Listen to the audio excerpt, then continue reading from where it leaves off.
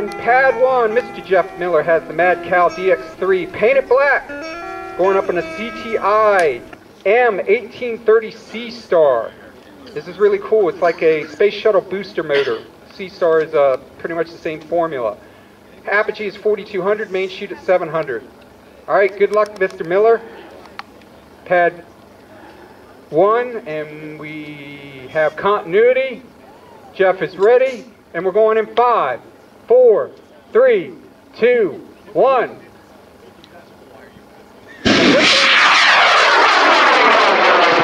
Really good boost.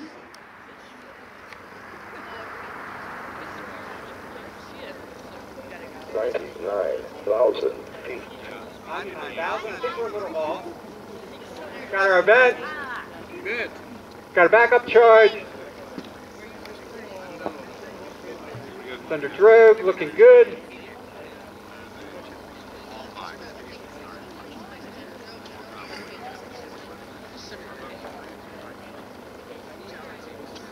Says it's at 2,800 feet right now.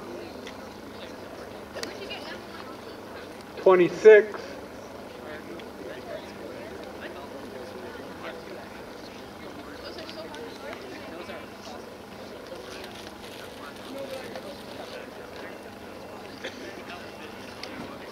So we're getting down to under 2,000 right about now. And we're going to be looking for a main soon. There it is. Well done, Jeff.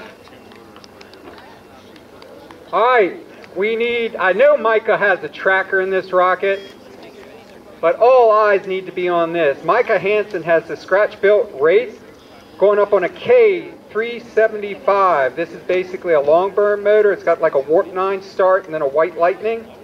He's expecting 10,000 feet and he will crack Mach 1. Drogue at apogee, main it, uh, uh, made it 500. So good luck, Micah. So we're looking for 10,000 feet and Mach